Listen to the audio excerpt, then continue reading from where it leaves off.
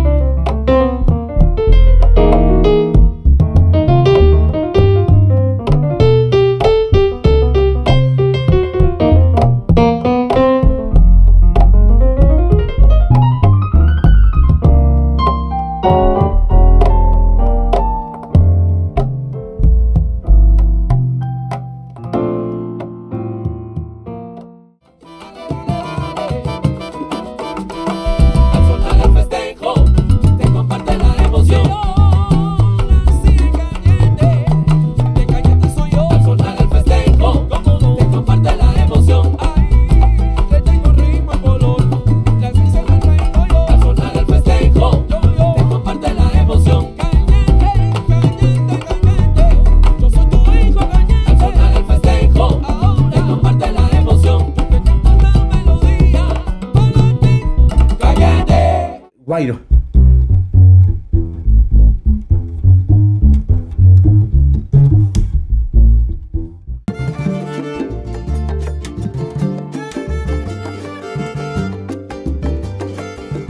A ver, yo diría la diferencia del baby bass y el bajo. A ver, es como el contrabajo. El contrabajo acústico tiene otra sonoridad, obviamente, por lo mismo que es acústico. Este es un contrabajo eléctrico, ya está amplificado.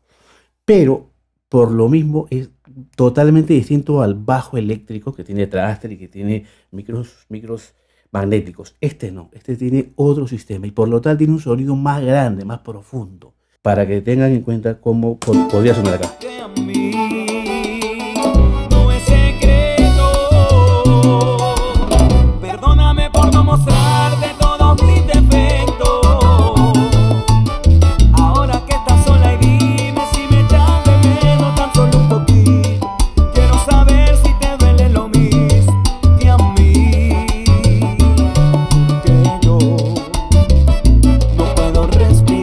La diferencia va a ser que el sonido del baby bass obviamente va a ser mucho más grande. Esto mientras que el bajo eléctrico no va a tener esa profundidad. Es como comparar pues un tráiler así grandotote de tres cuerpos con un auto pues, o una camioneta, por decirlo así. O sea, el sonido es totalmente, eh, es mucho más grande. Claro, en el baby bass no se puede hacer slap, lo que puede hacer en el bajo. No puede hacer el tap, que puede hacer en el bajo. Eh, eh, pero igual, este sonido, este sonido no vas a poder lograrlo con el bajo eléctrico definitivo. Así le pongas el mejor preamplificador, esponjita, ecualizador. Mentira, eso es imposible. Claro, eh, son muchas las diferencias. Y vuelvo a repetir, si el instrumento está bien hecho, bien calibrado y suena muy bien, vas a poder tocar cualquier género musical.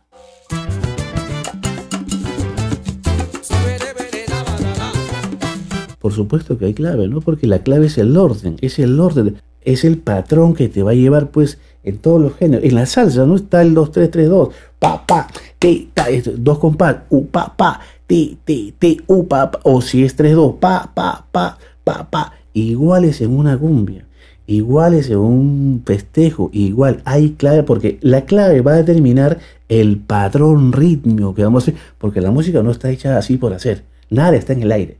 Todo es un patrón rítmico. Y todo patrón rítmico tiene, tiene como construcción, tiene una clave bien definida. Este, en, dos cuartos, cuatro cuartos, un partido, seis octavos, doce octavos. Entonces, eso, mm, este instrumento y todos los instrumentos deberíamos eh, tratar de profundizar un poquito más esto de la clave, que es un estudio de repente un poquito más musical.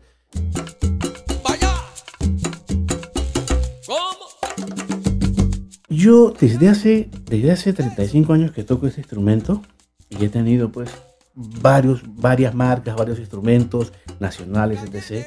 Entonces me enamoré tanto de este instrumento que, que, ahora me dedico, ¿no? Digamos, a, a, poder ensamblar, a poder construir, reconstruir, hacer muchas, muchos bajos, diseñar, he podido hacer muchas cosas maravillosas que muchos artistas tocan, tocan los, los bajos que yo preparo, ¿no?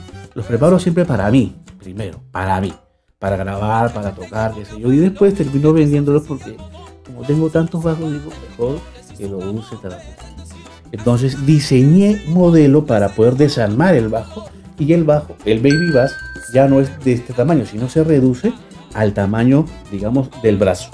Pero también hay bajos más pequeños, que pueden ser hasta más pequeños que una guitarra acústica. Entonces no te dan problemas para subir. Más que todo eso los vuelos pequeños.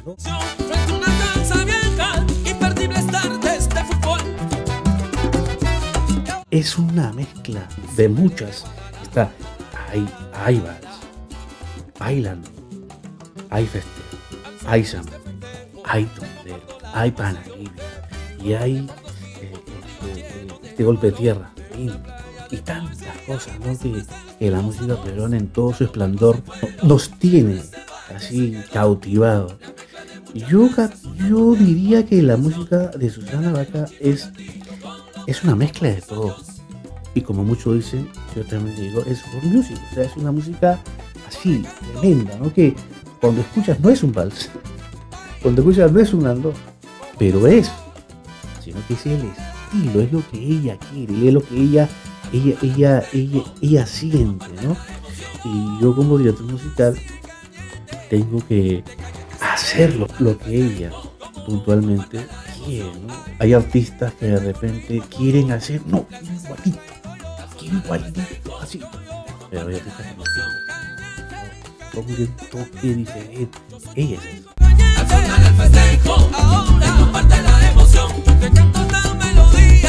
Oscar Guaranga sigue una carrera con mucha disciplina, todavía en aprendizaje, jamás terminaré de aprender. Oscar Guaranga es una propuesta de música en nuestro Perú. Oscar Guaranga siempre trató de buscar un sello, una personalidad. Siempre trató de buscar un camino.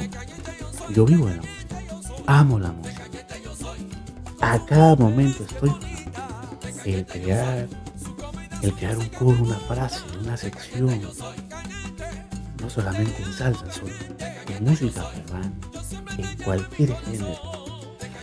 A veces el arreglar, el grabar, el mezclar, editar. Desde los artistas que, que tengo el honor de poder trabajar, producir, grabar, dirigir, la versatilidad. Cuando grabo con Susana tengo que encontrarme con Susana para poder dirigirla, para poder estar junto en ella y para que suene Susana. Cuando grabo con Antonio Cartagena, tengo que, con Antonio Cartagena también trabajo de los años 90, trabajar con Antonio Cartagena, su voz, su estilo, la salsa, el swing, la clave, todo eso. Y cuando grabo de repente con el lobo y la sociedad privada. Júrame, ya la gente sabe.